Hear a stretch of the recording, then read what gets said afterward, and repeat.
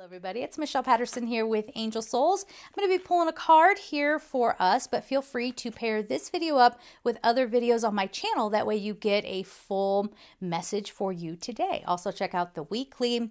And if you want a personal reading, just go to Angel angelsouls444.com.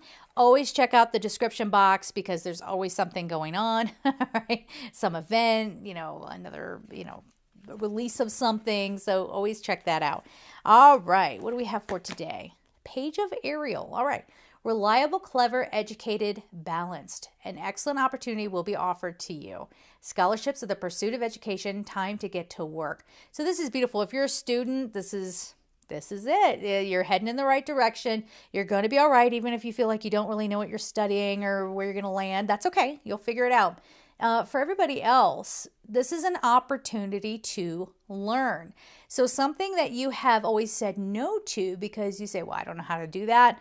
I can't possibly. There's no way, right? You're finding out that there is, in fact, a way. And you might even find something that you truly love that helps you feel grounded. It helps you feel really at one with who you are. And again, it feels like this new discovery. It's this new discovery about yourself. This could be somebody who, I'm just going to make up an example here, they've never cooked in their life.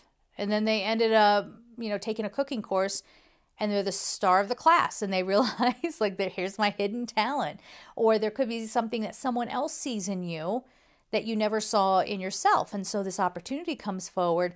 Don't do this thing, uh, don't do this forced humble, like, oh, I couldn't possibly. Don't even do that. Just be like, oh, tell me why you think I would be good for that okay, yeah, I'm more than willing to train for that. Yeah, that could be very interesting because it's going to open up a lot of happiness for you. All right. So we're going to leave it there. I'm sending you all so much love and take care. Bye bye.